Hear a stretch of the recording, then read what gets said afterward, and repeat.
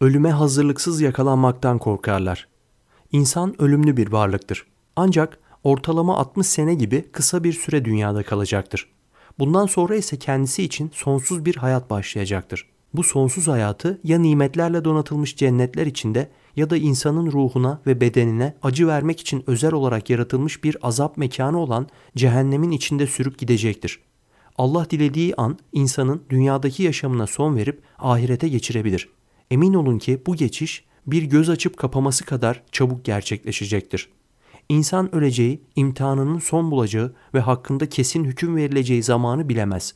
Bu yüzden bu an geldiğinde hazırlıksız yakalanmaktan, hesabını veremeyeceği, ihmal ettiği, ertelediği, gevşek tuttuğu konuların olmasından çok korkup sakınması gerekir.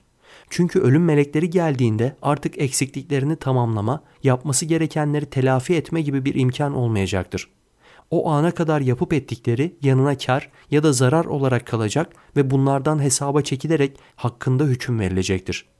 Ölüm geriye dönüşü olmayan bir gerçektir. Kişiye öğüt alıp düşünen bir kimsenin öğüt alabileceği kadar süre tanınmıştır. Ölüm geldiği anda bu süre tamamlanmıştır. Kişi ne kadar yalvarıp yakarsa da kendisine bir fırsat daha tanınmaz. Allah'a karşı yerine getirmediği sorumluluklarını yerine getirmesi için ek bir süre verilmez.'' Allah böyle bir gaflete ve ihmalkarlığa düşmemeleri için müminleri şöyle uyarmıştır. Kovulmuş şeytandan Allah'a sığınırım. Sizden birinize ölüm gelip de Rabbim beni yakın bir süreye kadar geciktirsen ben de böylece sadaka versem ve salihlerden olsam demezden önce size rızık olarak verdiklerimizden infak edin. Oysa Allah kendi eceli gelmiş bulunan hiç kimseyi kesinlikle ertelemez. Allah yaptıklarınızdan haberdardır.